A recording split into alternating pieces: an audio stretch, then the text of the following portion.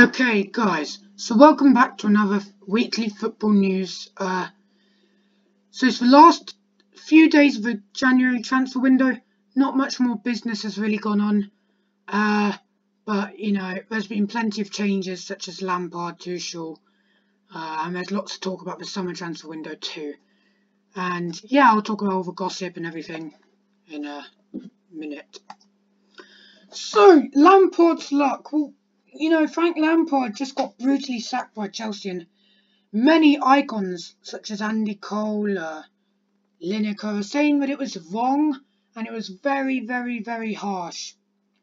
Well, this is just one of 13 managers Abramovich has sacked during his reign. And he's been, you know, president or in charge of Chelsea for about 18 years now. 13 managers in 18 years is ridiculous, a massive amount.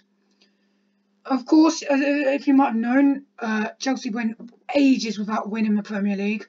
Uh, the only win they did get was before Christmas, so that was ages ago. And the only wins we really, the only wins were against Morecambe and Luton Town in the FA Cup, so that was terrible. Uh, he also went on a barren run since losing 3-1 to Arsenal, which we went winless for ages and ages and ages. And when our season went downhill, Arsenal's rose up. Lampard also has the worst win percentage of any Chelsea manager in the last 18 years at 53, about 53.4%. About that. Which is lower than the likes of Andre Villas-Boas and Goodink.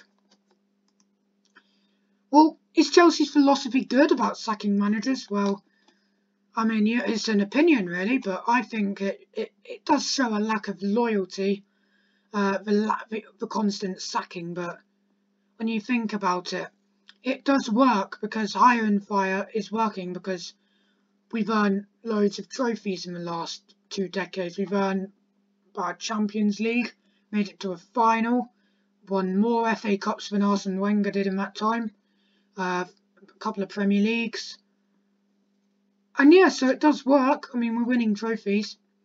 And the board say win a trophy or be sacked, you know. If you don't win a trophy, boom, you're out.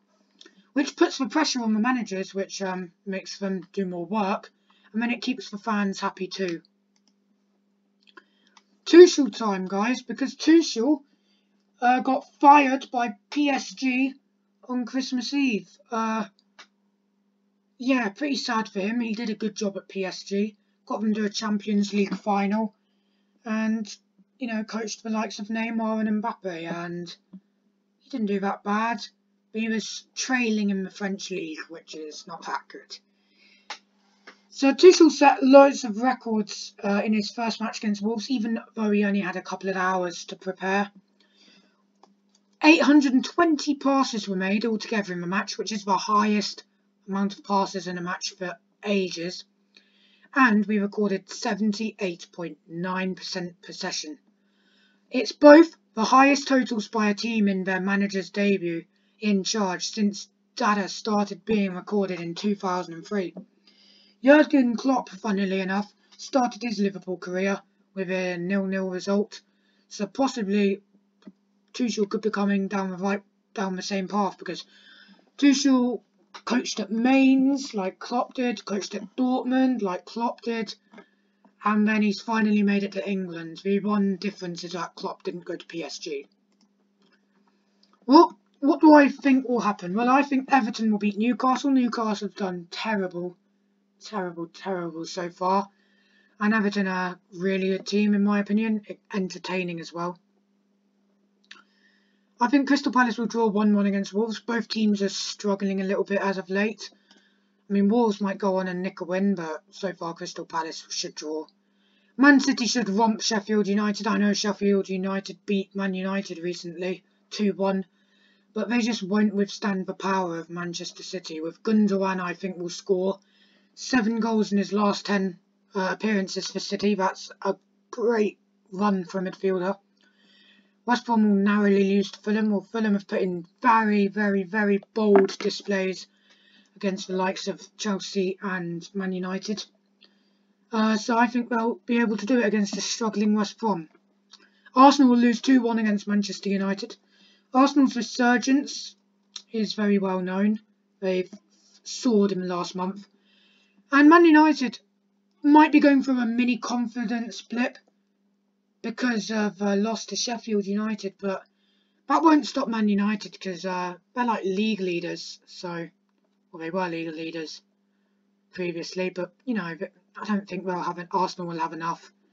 Southampton lose 3 2 to Villa. Or Villa and Southampton, they're both very entertaining sides, very dark horses for Champions League.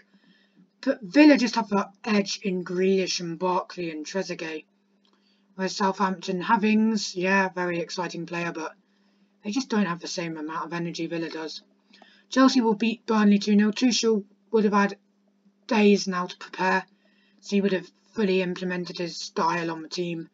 And Burnley are a strong team, but you know, there are weaknesses there to exploit.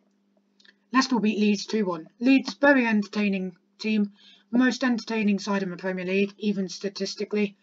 But Leicester are on a roll. Uh, Leicester are brilliant, and Leeds are also brilliant, so we could be in for a thriller here, but I think Leicester will edge it. West Ham will draw 1-1 against Liverpool. Liverpool is struggling as of late. They beat Spurs 3-1, but, you know, they're still going... They've got bad defenders. They're out injured. Fabinho, Matip injured. As West Ham are up to fourth, and West Ham have actually played superb this season, in my opinion, and Moyes has done it really good. Brighton will draw 2-2 against Spurs. I mean, Spurs might be going through a minor confidence blip because of a loss to Liverpool, but Brighton are a very strong team with Lamptey up on the right wing, right back. So that could be entertaining too.